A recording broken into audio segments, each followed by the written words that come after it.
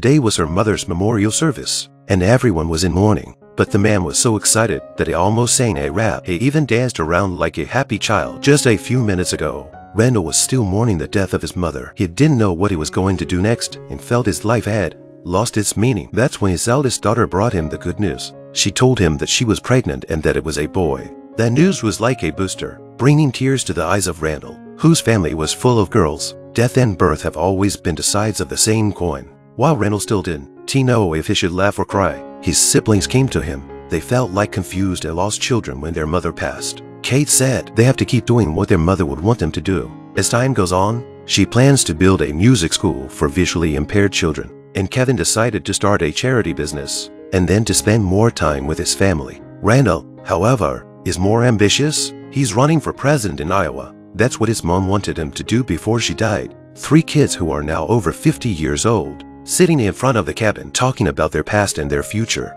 And that's when Kate brought up a concern they all shared. After mom died, they might get busier with their own lives, eventually drifting apart and not being as close as they are now. Randall said that if he were to close his eyes right now and imagine his family, the first thing he would think of would still be dad, mom, and his two siblings. So they did what they did when they were kids and repeated the classic line they promised each other that no matter where they go in the future, the three little ones would never be apart. At that moment, Randall remembered the second before his mother stopped breathing. She suddenly grabbed his hand very hard. He still can't figure out what that means. Maybe he'll understand when it reaches the end of his life. In truth, it was because in another time and place where she was dying, their mother finally saw their long-dead father. She greeted him as she usually did and held his hand tightly. Jack told Rebecca to get ready. He was going to take her back to some small moments she might have forgotten. The first stop was an ordinary Saturday morning. Randall's Olympiad had been canceled, so the family was left to stay home and be bored.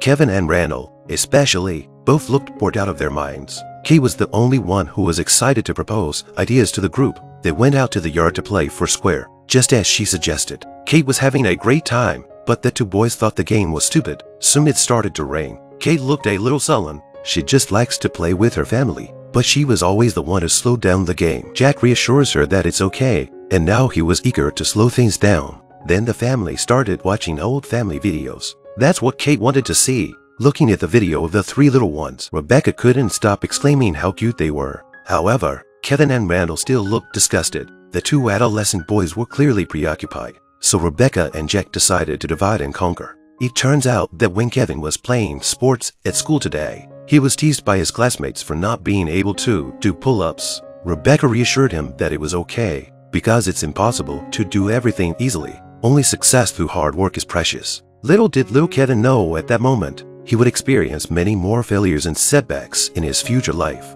His mother's words today would become his motto. Jack found Randall in the bathroom. It turned out that the Olympiad had not been cancelled today, but his classmates had made fun of him for growing the beginnings of a mustache. He got angry and they confronted each other, and so his teacher banned him from Math Olympiad for a week as a punishment. For this reason, he felt very sorry for himself and realized his mistake. Jack knew that Randall was always smart and strong. He couldn't bet he could still help with the matter of the beard. With Jack's help, Randall began to learn to shave himself. That's when Kevin came in. Kevin joined in the shaving, as if that would prove he had grown up. As they shaved, they laughed at Kate for being a child, always playing those childish games. Jack, however, said that Kate was the one who really understood life. When you are young, you always want to grow up quickly. But when you grow up, you and spend the rest of your life looking back on the past. Cherish these times. Don't wait until you lose them to miss them. Jack is like a time-traveling prophet, trying to teach his sons to cherish the time they had. He wished time could go slower and slower.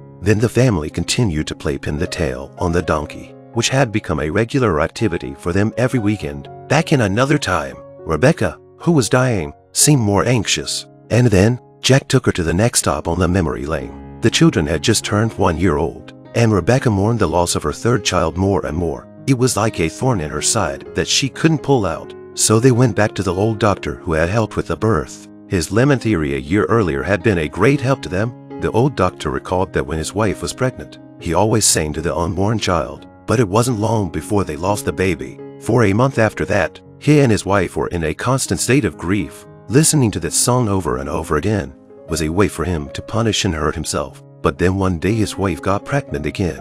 He was surprised to find that he still sang the same song to her pregnant belly. 25 years later at his daughter's wedding, he danced with her again to that song. Life is like that. There, learn to let them live in harmony. No matter which side is winning, you have to be able to bear it all and have the courage to move forward. That's the perfect ending. After Rebecca's death, the family still gathered together to play pin the tail on the donkey. It's not just a game, it is the Pearson family's unchanging legacy. As long as our love for them remains in our hearts, the departed will always be with us. The last stop Jack took Rebecca to review was the bar where they first met. Jack almost took another path that night when he looked up and saw Rebecca on stage, and then they became husband and wife, creating innumerable miracles in their lives. It was a mysterious night. Two strangers were taken to the hospital. One was an 11-year-old boy whose life was in danger from a car accident. The other a middle-aged man who had inhaled smoke from a house fire. And suddenly, the wheel of fate starts to spin. What unbelievable story will happen between them?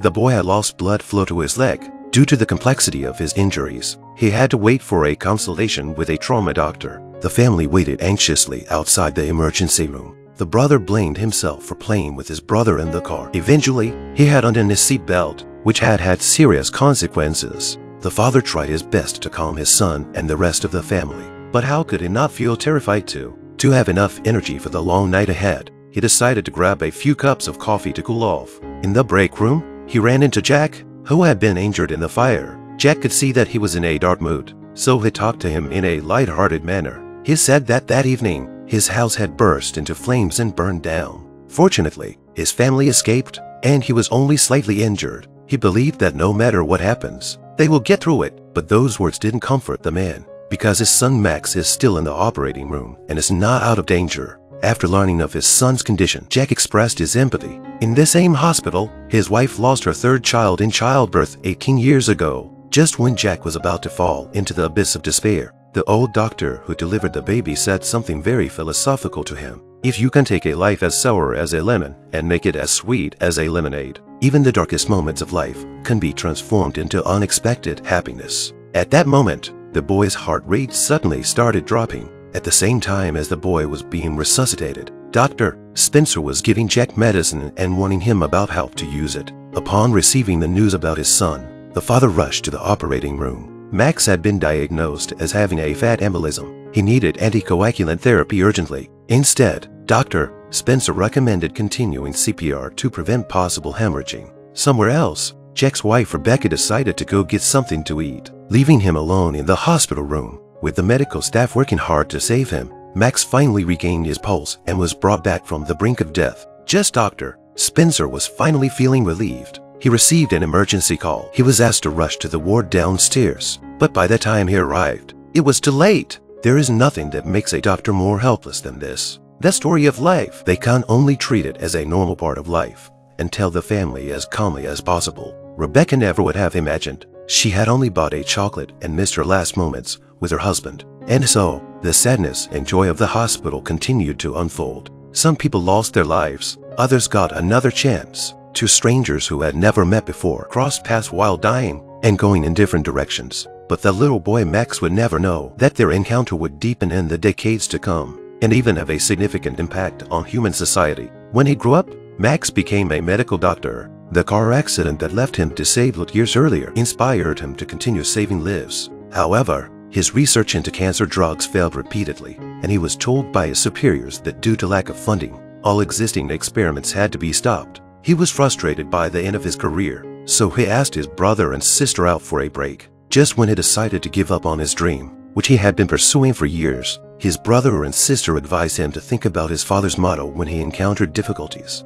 Little did these three children know, the lemon theory that their father told them to remember was given to the family by a strange man named Jack. Before he died, he passed it on to the family. This motto not only sustained their father through a difficult night, but it also sustained Max through his many struggles. He eventually achieved great results in the field of Alzheimer's drug development, and these results benefited people with Alzheimer's disease, greatly helping them prolong their lives. And that includes Jack's wife, Rebecca. That's the power of a spiritual legacy. Now, let's go back to the night Jack's children were born, when the old doctor told him that only two of the triplets would survive. Jack never would have imagined that the next words of comfort from the old doctor would have such a profound impact